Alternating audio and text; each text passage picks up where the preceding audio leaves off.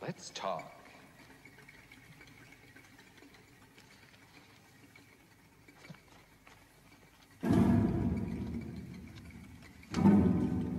What do you want to talk about?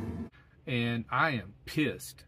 I guess by now you've seen my community post on for the uh, subscribers about not being able to do real-time videos anymore because uh, somebody decided to broadcast my last two locations.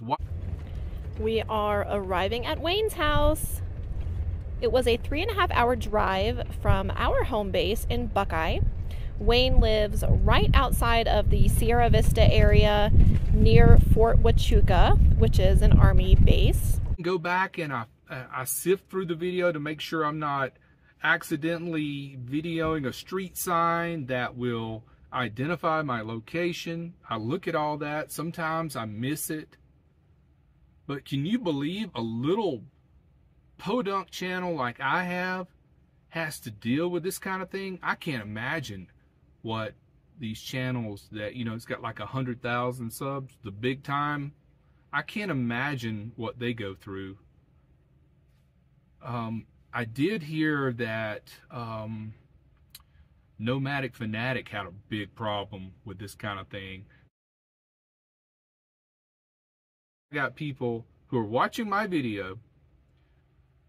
Somehow they're recognizing where I am down to a hundred yard area and they're putting in the comments exactly where I am. I am arriving and I am the last to arrive. Staying here on Wayne's property are Justin, Matty, myself, Yellow Wolf, and Melinda. Daryl and Marilyn are staying nearby, but they are not camping on the property. However, they came over for a barbecue.